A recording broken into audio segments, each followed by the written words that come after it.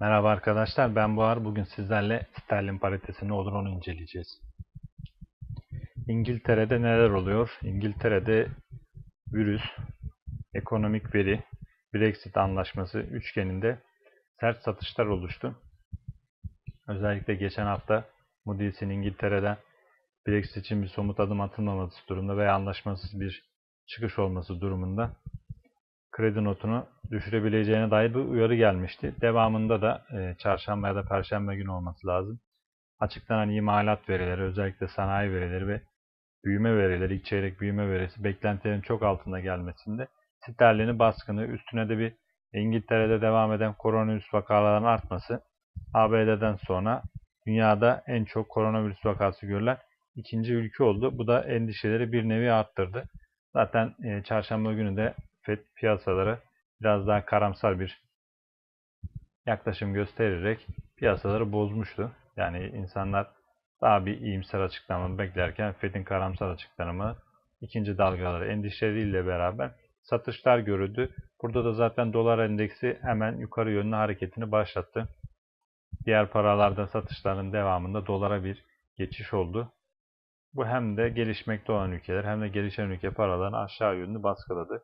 Şu anda da e, gördüğünüz gibi sterlin paritesi açık önümüzde uzun süreden beri devam eden hatta 1.20'den başlayıp 1.28'e kadar hızlı bir yükseliş gerçekleşen paritede buradaki ilk e, trendimizi sonlandırmış bulunuyoruz. Sonlandırmanı zaten görüyorsunuz. Buradan çıkışın gerçekleşmesiyle beraber satışlar hızlandı. Sterlin paritesi nerede tutundu? Buradan gelen kanal çizgimizi tam ucundan bir spike atarak tekrar geri dönüş gerçekleştirdi. Şu anda e, tam bir geri dönüş gerçekleşti demek yanlış olur. Bir tepki oldu desek daha olacaktır.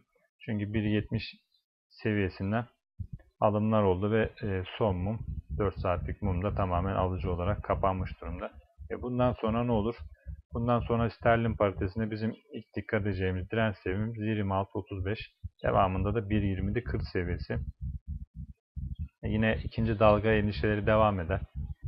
E, sterlin tarafında olumsuz olum, olumsuz olaylar gelişmeye devam ederse de aşağıda 1.20 24.70 devamında 1.24 seviyemiz var. Bu 24 seviyesi önemli. Çünkü 1.20'den başlayan trendin ana trendi kırmış olacak. Eğer 1.24 altında kalırsa fiyatlar 1.22'ye kadar sarkma yapabilir. Onun için bu seviyesi önemli. Ayrıca buradan gelen kanalı görüyorsunuz her seferinde. Bu kanal üstünde kaldığında yükseliş gerçekleştirmiş. Altında kaldığında düşüş. Burada da görüyorsunuz düştü. Eğer buranın altında kalabilirsek yani 1.24 altını kırar günlük kapanışlar yaparsak paritede aşağı yönlü baskı artacaktır. Ve başka ne olabilir? E, hemen dolar endeksini açalım. Dolar endeksi bildiğiniz gibi 100 seviyesine çıkmıştı. Daha önce koronavirüs endişeleri 101 seviyesine kadar yükselmişti. Sonra iyimserlikler oluşmaya başlayınca ekonomiler yeniden açılmasıyla birlikte dolarda satışlar göre riskli varlıklara geçiş başlamıştı. Bunun da beraberinde dolar endeksi yüzden başlattığı düşüşü 95'e kadar sürdürmüştü. Şu anda bu kanal yani %95'e devam eden kanal kırılmış durumda. Bu kanalın kırılması dolar endeksinin değer kazanımını arttırabilir. Şöyle tekrar yukarı yönlü bir düzeltme olursa şöyle çizelim. Buradan aldığı destekle beraber 98 seviyesine kadar dolar endeksinde yükselişler görebiliriz. Tabi bu yükseliş de ister istemez hem Euro'yu hem sterlini hem de diğer gelişmekte olan ülke kurlarını baskılayacaktır. Eğer dolar endeksi yükselişin 98 seviyesine sürdürür ve üstünde kalabilirse o zaman bir sonraki hedefimiz 99-40 olacak. Zaten önemli olan e, en önemli nokta burası. Çünkü eğer 99 üstünde 40 üstünde kalırsa tekrardan bu bant için düşecek. Şunu kırmızı yapayım isterseniz daha net olsun. Fiyatın bu bant içine girmesi hareketlerinin 101 ile 99 arasında yapacağı anlamı taşıyor.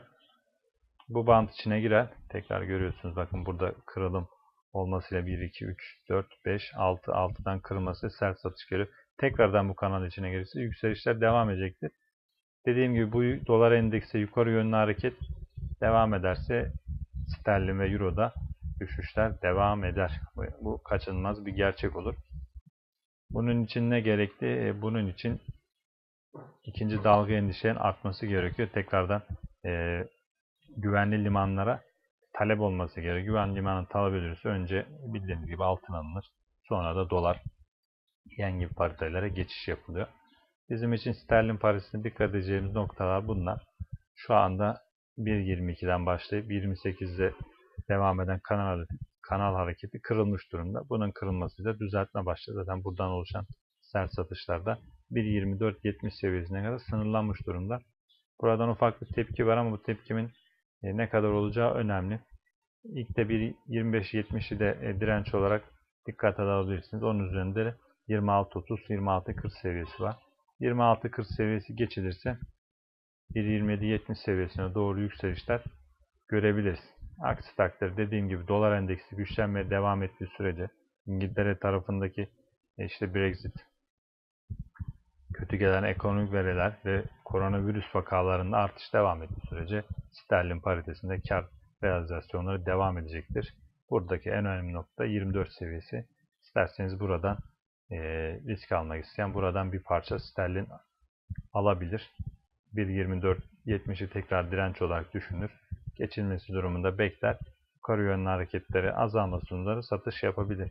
Ancak burası önemli bir destek olduğu için kırılması durumunda stop loss koymanızı ihmal etmeyin. Çünkü altında 1.22-1.23'e kadar satış baskısı sürebilir. Hatta şunu da çizelim. Şöyle bakıp yapalım.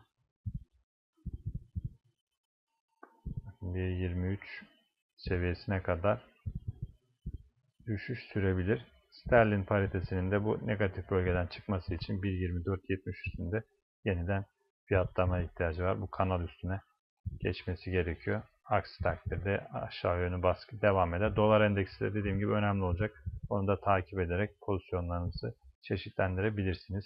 Cümleten bol kazançlar arkadaşlar. Hoşçakalın.